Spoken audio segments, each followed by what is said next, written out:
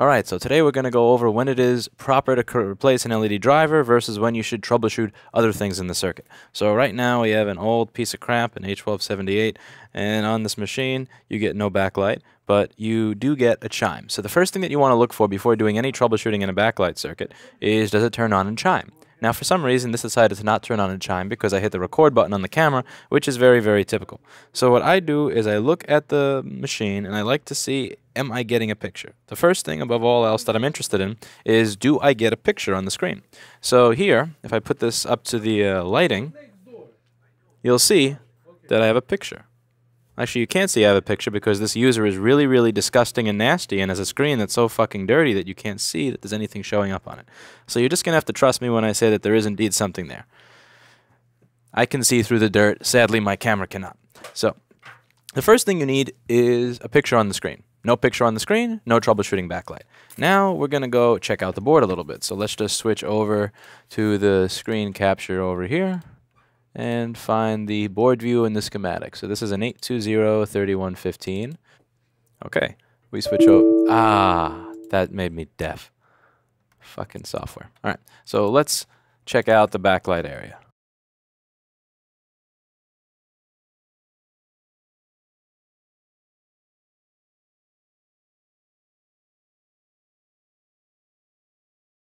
All right, so there are a few basic things I want to check. The first thing I want to see is, is there power on backlight enable over here?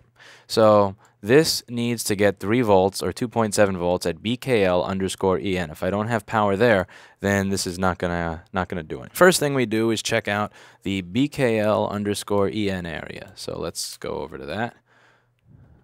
Whoa, the schematic that I have open just changed. I don't remember doing that. That's scary. Okay, so here we go.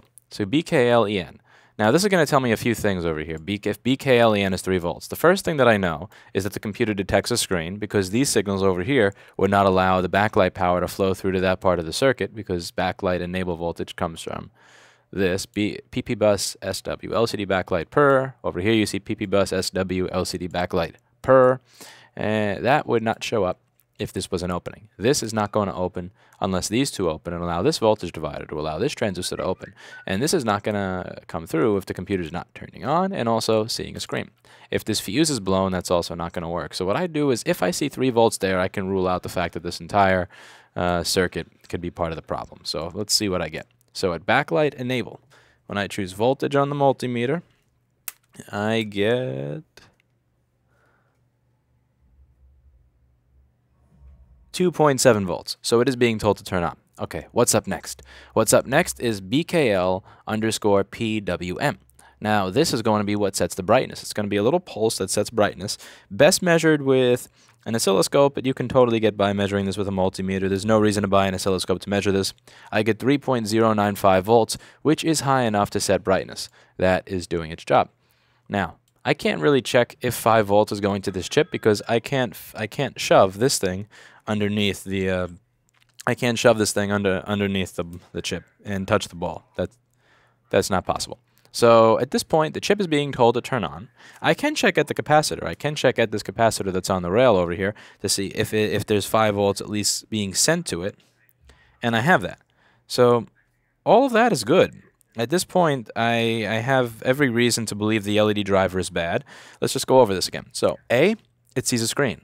B, it's it, the chip is being told to turn on. There's power going through the circuit, and there's no reason for this to not be turning on. I can now logically conclude that it's time to replace the chip. But you can't replace that LED driver chip just because you just because you have no backlight. There are so many reasons that you could have no backlight that have absolutely nothing to do with the chip being bad. But under these circumstances, once you've gone through the, this initial assessment and you get those measurements, now you can at the very least say, maybe I have a problem with my LED driver. So with that being said, I'm going to grab myself another LED driver and uh, we'll get started. Okay, over here we can see the LED driver chip. It looks like it's pretty in focus. So we're going to turn the air filter on and get started.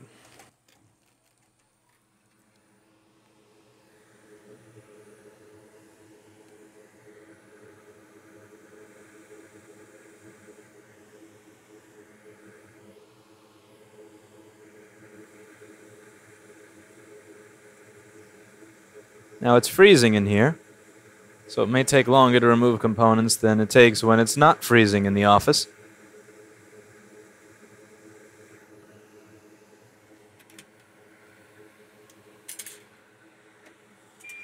Now I'm going to remove the micro soldering pencil to put on the proper iron for this.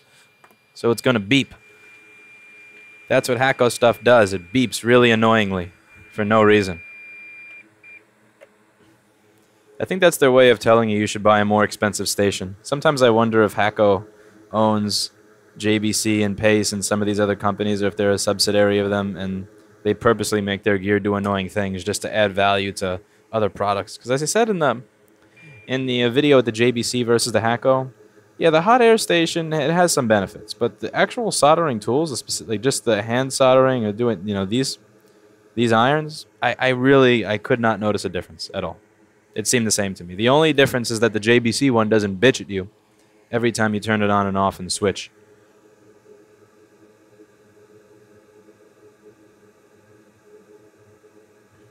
Not that that's worth an extra thousand dollars or so for the gear, but it's don't get me wrong, it's tempting at times. Trust me, there. It's quite tempting at times.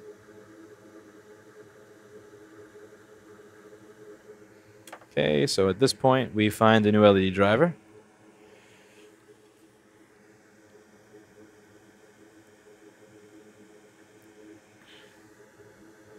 Now the reason I'm doing this is I actually want I don't want the flux to just be on the board. I want it to get on on the ball, every single solder ball as well. Because the, the solder balls are what actually need the, the flux on them. So now I take this. The most important thing, as always, is that the chip is sitting flat on the board and that it's, it's a nice solid physical connection before we even get the soldered connection.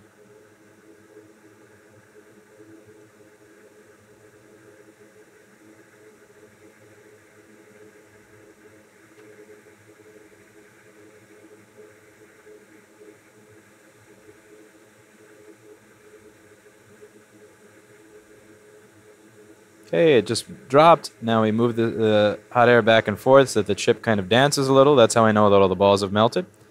I move it away. I can be confident that it was soldered properly. Now I get to see if this thing actually works. So, did I... Is that the proper diagnosis of the problem, or have I just been talking out of my ass for 10 minutes? Let's see.